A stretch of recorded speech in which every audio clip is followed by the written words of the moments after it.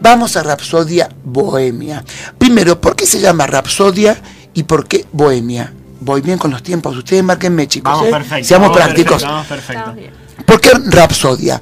Rapsodia es una forma musical creada por Franz Liszt en 1862. Franz Liszt dejó 1900 1986 obras. Este es el año de Liszt, que nació en 1811, hace 200 años. Bueno, muestra cuánto sabe Mercury, porque la Rapsodia, según Liszt, una forma que él inventó, debe ser una obra toda corrida ¿m? en una sola parte, de principio a fin, dividida en secciones que enseñan, que describan, que cuenten una historia. ¿Por qué se llama Bohemia?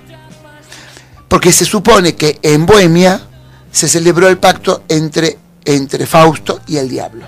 Entonces yo, previo a lanzar esto, estuve un año y pico analizando Rapsodia Bohemia. Sabemos, es decir, sabemos por distintos rep- reportajes que Freddie Mercury dio algunas pistas. Recordemos que esta obra es de, 1800, es de 1975, que el sello le dijo, esto no va a andar porque no cubre el estándar, que eran tres minutos. Y esto dura casi seis. Bueno, alguien del sello dijo, juguémonos, y le salió perfecto, porque se convirtió no solo en un récord de ventas, sino que aún hoy, y hace dos años, se lo nombró, se lo, se lo marcó como el tema ícono de la música popular.